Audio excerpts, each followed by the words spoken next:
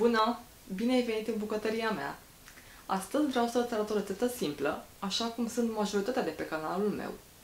O rețetă care se face foarte ușor, are puține ingrediente și este foarte gustoasă. Voi pregăti labne, o rețetă foarte populară în Orientul Mijlociu. Ingredientul de bază al acestei rețete este iaurtul. Eu folosesc de regulă iaurt grecesc cu 10% grăsime, acest preparat se poate consuma la micul dejun, pe post de gustare. Mie mi se pare că merge foarte fain atunci când ai musafiri. Încep prin a pune iaurtul la scurs. Pentru asta o să folosesc un săculeț de pânză, același în care strecor și laptele vegetal, iar săculețul îl pun apoi într-o sită. Folosesc 300 de grame de iaurt. Dacă nu ai un astfel de săculeț, poți folosi tifon, pus în mai multe straturi, poate un prosop, o răsită foarte deasă. Las iaurtul la scurs 3-4 ore sau peste noapte.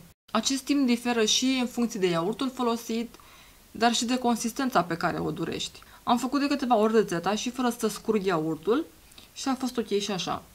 După ce s-a scurs, storc bine săculețul și pun iaurtul într-un bol. Mai am nevoie de 100 de grame de măsline. Jumătate sunt verzi și jumătate calamata.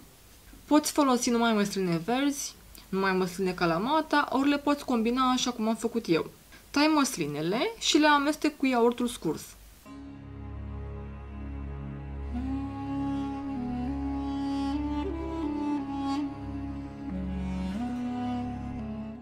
Deasupra pun două lingurițe de ulei de măsline presat la rece, o jumătate linguriță zatar, care este un amestec de condimente, și 20 de grame fistic mărunțit.